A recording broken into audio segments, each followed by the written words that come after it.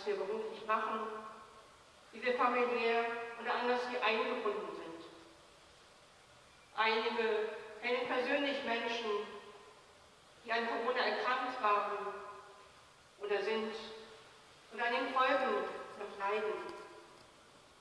Oder auch Menschen, die in die Sorge, in die Kranken eingebunden sind. Gott sei Dank sind viele schon geimpft. In der Welt seid ihr in Bedrängnis, aber habt Mut, sagt Jesus in deinen Abschiedsworten. Ja, Mut brauchten die Jünger und Jüngerinnen, wenn sie mit Jesus unterwegs waren und zu ihm standen. Schließlich stand ihm die Todesstrafe bevor. Und auch die ersten Christen und Christinnen waren in Gefahr, wenn sie sich zu ihm bekannten.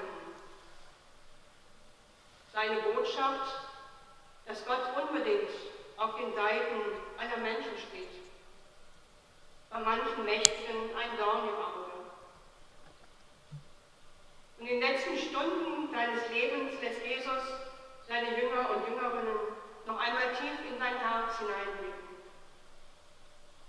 Sie kennen das vielleicht, wenn absehbar ist, dass nicht mehr viel Zeit bleibt, jede Minute des Zusammenseins kostbar ist, dann kann es geschehen, dass man sich tief im Innersten begegnet in der Hospizbegleitung erlebt, aber auch persönlich. Ich erinnere mich an die letzten Worte, die meine Mutter mir mit auf den Weg gegeben hat. Mein Vater, so miteinander noch gesprochen haben. Mein Großvater, der bei dem letzten Besuch sagte, aber im Gebet bleiben wir verbunden. Wie gut, wenn solche letzten Gespräche Mut machen, den eigenen Lebensweg Perspektive schenken, aber sogar auch darüber hinaus. Jesus gibt seinen Jüngern und Jüngerinnen solch eine Perspektive. Und er sagt an einer anderen Stelle etwas vor dem Evangelium, das wir vorhin gehört haben, der schönsten Worte, wie ich finde. Ich habe euch Freunde, sagen auch Freundinnen genannt, denn ich habe euch alles mitgeteilt, was ich von meinem Vater gehört habe. Jesus war kein spiritueller Geheimniskrämer. Er hatte Freunde und Freundinnen, mit denen er über das sprach, was ihn selber bewegte. Er sprach über sich und sein Leben, teilte mit ihnen das, was er mit Gott verband, mit dem er sich im Innersten verbunden wusste. Und er lud sie ein, an seiner Gottesfreundschaft teilzuhaben. Er sagt, denn der Vater selbst liebt euch. Das griechische Wort Philein, was versteht, meint Liebe in diesem tiefen freundschaftlichen Sinn. Muss Jesus auch nicht stellvertretend für sie beim Vater eintreten, sondern sie selber sind eingeladen, diese tiefe Gottesbeziehung auch für sich zu leben. Verbunden mit Christus sind sie Gott. Und auch wir können uns immer mehr, immer tiefer mit Christus verbinden, indem wir uns von ihm mitnehmen lassen auf seinen geistlichen Weg, den er gegangen ist. Er zeigt uns, wie Menschsein an der Hand Gottes gelingen kann. Mir selber hilft es immer mehr, mich im Lesen der Bibel, in der Meditation wirklich auf dieses Menschsein Jesu einzulassen. Sich an ihn als Menschen heranzutasten. Am Beginn seines öffentlichen Auftretens steht seine Taufe. Wie viele andere macht Jesus sich zu diesem begnadeten Prediger auf den Weg, Johannes, der zur Umkehr aufruft weil er glaubt, Gott wird bald zum Gericht erscheinen. Der Heilige Geist ist manchmal für Überraschungen gut. Jesus macht eine Erfahrung, die so ganz anders ist. Die Evangelisten beschreiben es in dem Bild so, Der Himmel öffnet sich und der Heilige Geist kommt wie eine Taube auf Jesus herab. Gott spricht in sein Herz, du bist mein Sohn. Und diese Zusage trägt ihn durch alle Stürme des Lebens. Es ist das, was auch heute jedem Täufling zugesprochen wird. Du bist Gottes geliebter Sohn, du bist Gottes geliebte Tochter. Da werden keine Gotteskinder gemacht. Sie werden ihnen zugesprochen. Welch ein Fundament, wenn ein Mensch das für sich oder auch für die ihm anvertrauten Kinder annehmen kann. Du bist Gottes geliebter Sohn, du bist Gottes geliebte Tochter. Und ein zweites offenbart sich Jesus in der Taufe. Gottes Geist erfüllt sein Herz. Vom Geist, im hebräischen Ruach spricht die Bibel auch in der Schöpfungsgeschichte. Gott formt den Menschen aus Erde vom Ackerboden, kennen das alle. Dann heißt es, er haucht in seinen Odem seinen Atem ein. Das gleiche Wort, Ruach, das auch Geist heißt. Es gibt diesen göttlichen Funken in einem jeden, einer jeden von uns. Männer und Frauen sind geschaffen als Gottes Ebenbild. Gottes Ebenbild im Bild, so wie wir von Königen oder von unserem Bundespräsidenten Bilder hängen haben in den öffentlichen Räumen, sagen wir sind Repräsentanten Gottes in dieser Welt.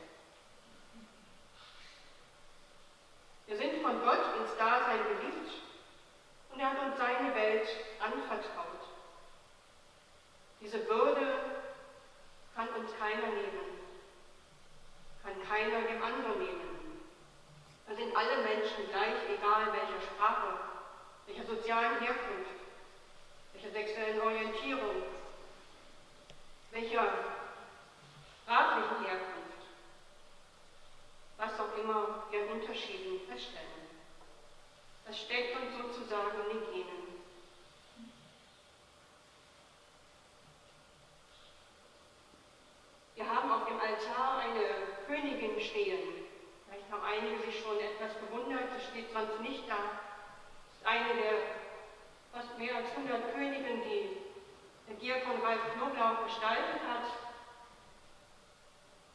Und es geht ihm darum, diese Könige und Königinnen in die Welt hinauszusenden zu den Menschen, die am Rande stehen, die nicht, denen nicht die Würde zugesprochen wird, die ihnen eigentlich zukommt.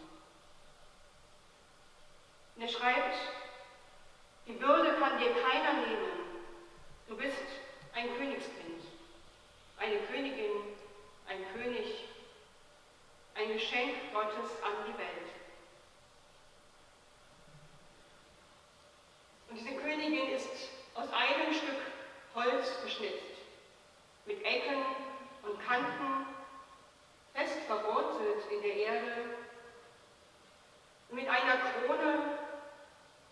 Nachträglich aufgesetzt ist, sondern auch die Krone ist aus dem gleichen Stück Holz. Die Würde des Menschen ist nicht aufgesetztes, sondern das was einem jeden Menschen vom Himmel mitgegeben ist. Im Psalm heißt es, du Gott hast uns Menschen mit Würde gekrönt. Und so können wir im guten Sinne königlich im Geiste Jesu die uns anvertraute Welt gestalten. Da sein die Menschen, die uns anvertraut sind, je nachdem, wohin unsere Berufung uns gestellt hat. Die Apostelin Junia hat ihrer Berufung getraut, wie Paulus, der auch Jesus persönlich nicht gekannt hat, musste sich von Christus berufen, seine Botschaft von Liebe und Gerechtigkeit, Frieden und Freiheit in die Welt zu tragen. Hat öffentlich freimütig wie Paulus gepredigt, eine Gemeinde gegründet, ist dafür sogar ins Gefängnis gegangen. Ich weiß nicht, wie weit mein Mut reichen würde. Die Gemeinde und Paulus haben ihre Berufung angenommen und sie gewürdigt. Paulus nennt sie sogar herausragend unter den Aposteln. Johannes Chrysostomus, um 400 nach Christus Bischof in Konstantinopel, sagte noch von ihr, ein Apostel zu sein ist etwas Großes, aber berühmt unter den Aposteln. Bedenke, welch großes Lob das ist. Wie groß muss die Freiheit, die Weisheit dieser Frau gewesen sein, dass sie für den Titel Apostel würdig befunden wurde.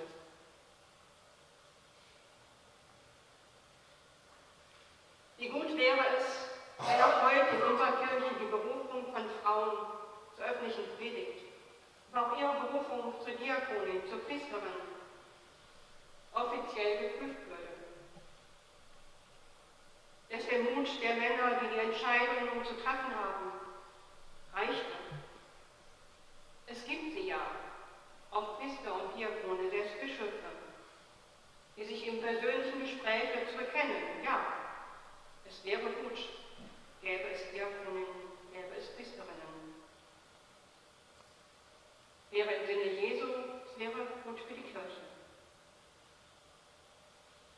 Am ersten Ausbildungskurs für Frauen, die sich zur Diakonin berufen fühlen in unserer Kirche, durfte ich als Begleiterin, geistige Begleiterin, drei Jahre ihres Weges mitgehen. Ich habe es damals getan in der Überzeugung, dass es nur gut sein kann, zu prüfen, zu schauen miteinander. Ist das, was wir da tun, im Sinne Jesu, dient es der Kirche. Mutig waren alle, die mitgemacht haben. Professoren, Professorinnen, Frauen, Männer im kirchlichen Dienst, Teil um ihr Leben Obstat fürchteten oder auch um ihre kirchliche Anstellung. Das ist jetzt, 20 Jahre später, bei dem Kurs, im September neu begonnen hat, nicht mehr so. Bewegt sich also was. Manchmal muss man dadurch und sich Dinge einfach auch trauen.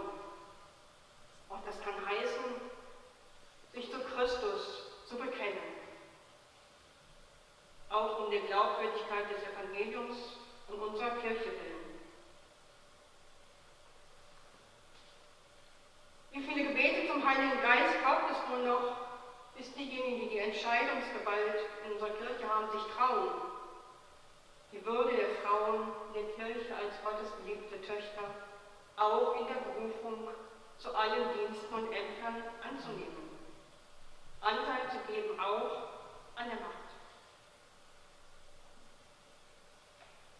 Gott hat uns mit Herrlichkeit und Ehre gekrönt, dass wir als Erben und Erbinnen seines Reiches geisterfüllt und mutig eintreten für Gerechtigkeit und Frieden in der Welt und in unserer Kirche, weil sie uns lieb und teuer ist.